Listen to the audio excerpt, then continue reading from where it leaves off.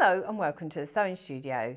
Today I'm going to show you a little technique. If you have to put a join in your border fabric, you can actually make a feature of this join. So I'm going to show you what I mean.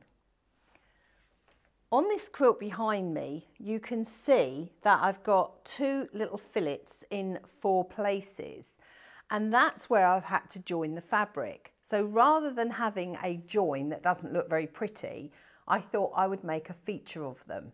So I'm going to show you how to do that. So it works if you need more than one width of fabric for a border, so any size quilt that would be, or if you've just got some odd pieces and you haven't quite got enough. So the first thing you're going to need is your contrast colour. So I'm using the peach and you would cut this into a one inch strip and then you would fold it in half with the wrong sides together, so i.e. you've got the right side, and then I'm going to make the same as the quilt behind me. You lay your little piece of fillet onto your fabric and machine that on. So I'm just going to go over to the machine and show you what I mean. So I'm going to line my piece of coloured fabric up and what I'm going to do is just make my life easier and I'm just going to snip that off so I haven't got quite so much of it.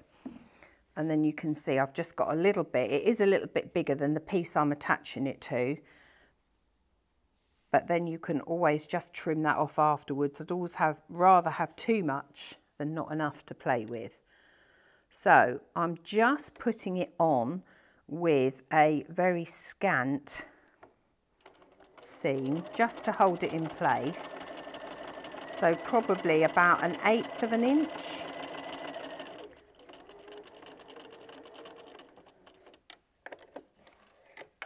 And then I'm going to put another piece, the other side.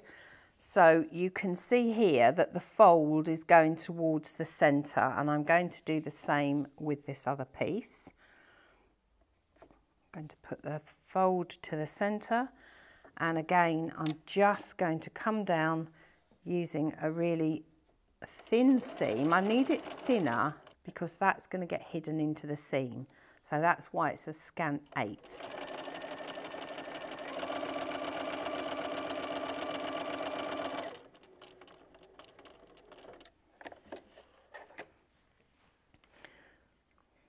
So now I'm just going to cut these off level.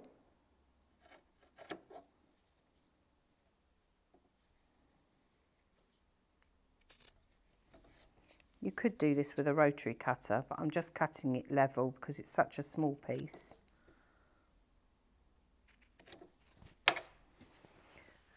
And then I'm going to put this in between two other pieces of fabric to make the border.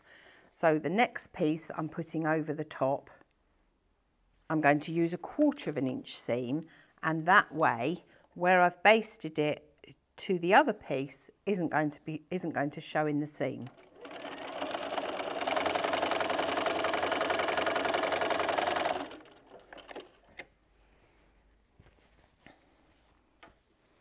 So you can see there that it's sandwiched in there and I'm just going to do the other side.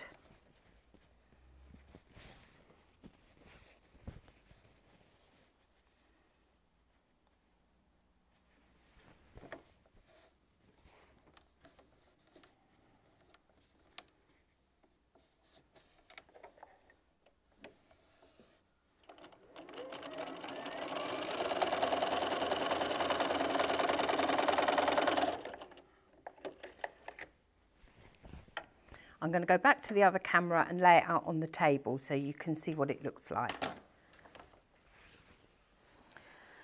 So there you can see that you've got your two fillets and I've made this piece of fabric. Let's just trim up some of those end bits of thread so it looks a bit neater.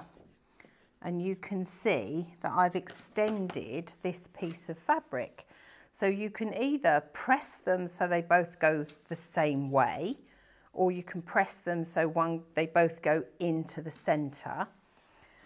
And the trick with this is when you come to put your border on, the, on your quilt, you want your little feature to be slightly offset. So we'll just go to the other quilt and I'll show you what I mean. So now you can see that we've got our border on the quilt with our little fillets here. And the thing to do is to offset them. So don't have them in the dead centre of the quilt, i.e. 12 o'clock, 6 o'clock and then 9 o'clock, 3 o'clock, because it's not as pleasing to the eye. It's much better to have them slightly offset. So this isn't completely random. I have measured the distance from the edge of the quilt to the first one and the same there, but they are all offset rather than in the centre.